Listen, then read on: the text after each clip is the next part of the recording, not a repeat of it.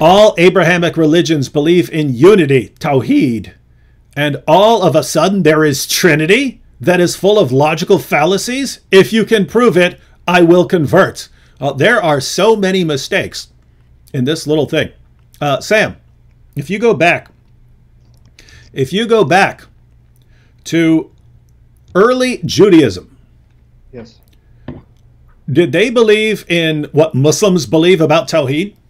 Absolutely not. In fact, the standard work that's used by scholars, and it's written in a way you can even understand it very simply, is by the late Jewish, and he was Jewish, mm-hmm. he wasn't a Christian, Alan, Alan F. Segal, Two Powers in Heaven. He documents from Jewish writings before the time of Christ, during the time of Christ, and even admits this was a belief held by many Jews up until at least the second century.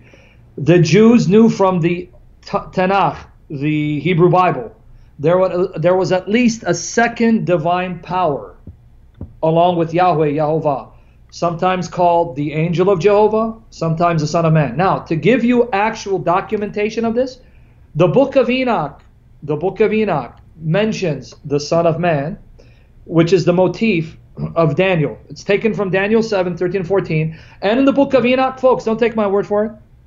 You got liberal critical scholars that Bart Ehrman, oh, yeah, uh, I forgot about him. In his book, How Jesus Became God, he has a section, folks, he has a section where he's parroting the arguments of Segal and others, where he shows that in the Judaism before the time of Christ, and he quotes these sources, they believed in a pre existent divine Messiah, and he quotes Enoch, where he says that according to Enoch, the Son of Man, who is said to be the Messiah and said to be the elect one, the chosen one, exists before creation. And he's hidden with God, and then will appear in the latter days, and he'll sit on a throne of glory, and all the kings of the earth will have to worship him. This is a Jewish source, folks. And this is a commentary on the Son of Man found in Daniel 7 13 and 14. Another Jewish source 4 Ezra. And this is something acknowledged by a liberal scholar named John J. Collins. And he says that 4 Ezra, there you have a divine pre existent Messiah who will appear in the latter days, who actually dies but will be resurrected. 4 Ezra. This is not a Christian document. And then we can go into the Dead Sea Scrolls and look at what's known as 11Q Melchizedek Scroll, a scroll found in Cave 11 of the Qumran community, where Melchizedek is depicted as the God of Psalm 82, where texts about Jehovah are applied to him, and he's said to be the God in the heavenly council who, on behalf of Jehovah, destroys the other gods. Melchi Resha, I believe, the Belial, the evil spirit being, and his and his angels, destroys them and makes atonement for the people of God. These are all Jewish sources. I didn't even quote the Old Testament. I don't I don't need these sources. I can go to the Old Testament and show you the Trinity in the Old Testament, right? But I'm giving you sources written by Jews who are not influenced by the New Testament. There was no New Testament who just reading their Old Testament could see there's more than one divine person in heaven. Um, now we have uh, Behold the Son here says, Why isn't there a single chapter in either the Old or New Testament that explains the Trinity in detail? Why do we need this mental gymnastics for something that should be so clear? It's clear to me, it's clear to you, it's clear to millions of people, it's been clear to millions of Christians throughout the centuries that the Old and New Testament, what they do say about the Godhead, is so clear and explicit.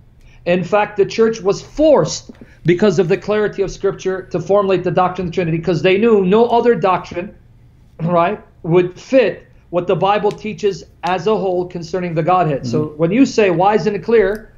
Clear to who? It's clear yeah. to us, maybe not to you. Yeah. But that can be turned against them. But go ahead, David. Why is it why is it not clear? I've never studied it, but why why is it not clear to me? Yeah. Yeah. yeah. and that's begging. The, that's yeah. like I said. That's assuming. To you, it's not clear because you don't want to see it, even the way you ask the question. Mm-hmm. But someone who just comes to Scripture, guys, here, and you too, Behold the Son. I challenge you. I dare you. Have the courage to do this. Pray and say, God, if you're real, and I believe you are, I want. I want to now come to the Bible without any presuppositions, without any traditions that tell me what you can and cannot be. I'll accept you as you are. I, I make a promise to you, God. if you can show me who you are in the Bible, if you're a Trinity and Jesus is the God man, I'll accept it. I won't put any limitations on what you can and cannot be. And I guarantee you, you'll be worshiping the Trinity with us in a matter of time. If you ask sincerely and honestly, because Jesus says, Jehovah says, You will seek me and you'll find me when you seek me with all your heart. No conditions. All your heart, open. And that's just to the Muslims. Open, honest. God, whoever you are, I won't put you in a box. I won't tell you what you can and cannot be. I'll accept you as you are. Please make yourself known. And I promise you, the Trinity will reveal himself to you, the triune God of Father, Son, and Spirit, and you'll be worshiping the Trinity with us. Imagine saying, without ever reading a, without ever be, being, you know, without ever taking a, a physics class or anything like that, saying, well, I mean, if if quantum mechanics is right, why well, why why does it sound so complicated? You can't just say it in one little you know one little line that makes it easy to understand, huh? Why's it got to be so?